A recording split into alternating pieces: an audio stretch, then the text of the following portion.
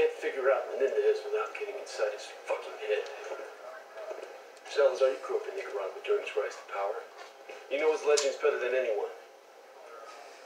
Tell me, why does he hate us so much? Primera Guerra Fría. As a boy, he witnessed the country's rape and murder his people. 1972, there was a colossal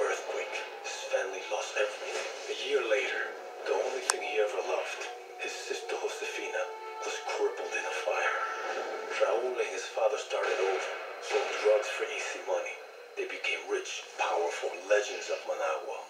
The Menendez cartel was all but untouchable, so the CIA took out Raúl's father in a U.S. sanctioned assassination.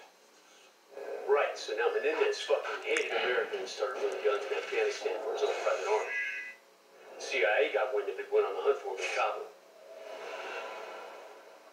That was the photo Wood showed us in the vault, remember?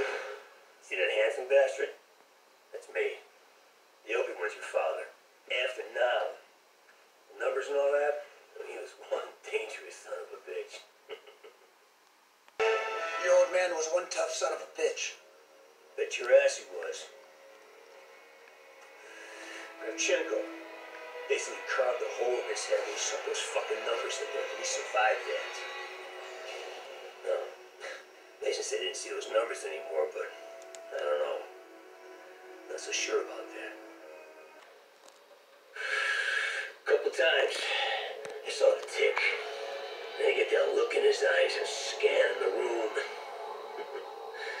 Next thing you know, he's talking to the Russian.